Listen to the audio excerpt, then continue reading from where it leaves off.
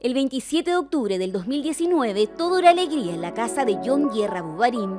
Así celebraba junto a su familia y amigos su cumpleaños 17.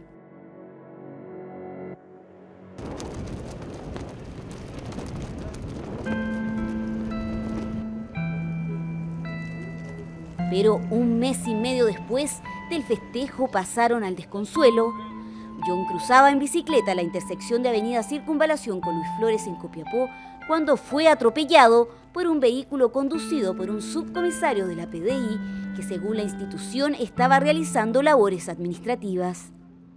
Mi hijo no le hacía mal a nadie. Era un niño tranquilo, era un niño feliz. Entonces yo pido justicia. Yo voy a caminar hasta donde se tenga que caminar por mi hijo. Yo creo que toda madre haría eso por su hijo. John era un estudiante, era un niño ejemplar, era un excelente alumno en la escuela. Él no cometió ningún error. El que cometió el error fue el conductor del vehículo que lo atropelló y lo tiró a 30 metros. Disconformes porque el policía fue formalizado por cuasi delito de homicidio, la familia de la víctima decidió presentar una querella en su contra. Nosotros entendemos que es un homicidio simple, eh, toda vez que existe dolo eventual, ya que eh, si bien el PDI no tuvo la intención, se pudo haber representado que esto, eh, esto se podría producir y no hizo nada para aminorar esta posibilidad. Por lo tanto, él aceptó el resultado, lo que no obsta que posteriormente se pueda presentar la demanda civil respectiva en contra de la institución, porque recordemos que era un funcionario que estaba precisamente en funciones por la Policía de Investigaciones de Copiapó. Quiero justicia porque hagan lo que hagan, no me devolverán a mi hijo. No porque él sea de la, de la institución, la ley tenga que ser diferente para él. ¡Que no quede impune este asesinato! Así se manifestaban sus familiares y amigos en el frontis del juzgado de garantía de Copiapó esta mañana, luego de que la defensa pidiera revocar el arresto domiciliario total para el funcionario policial y dejarlo solo con arraigo nacional solicitud que fue rechazada por la jueza. Este es un caso de gravedad.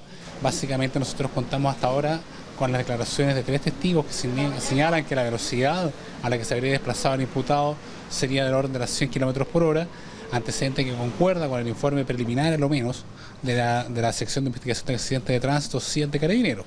Por lo tanto, con esos antecedentes entendemos que ponernos ahora esa medida cautelar es proporcional, así lo pedimos al tribunal y así el tribunal la mantuvo el arresto domiciliario total.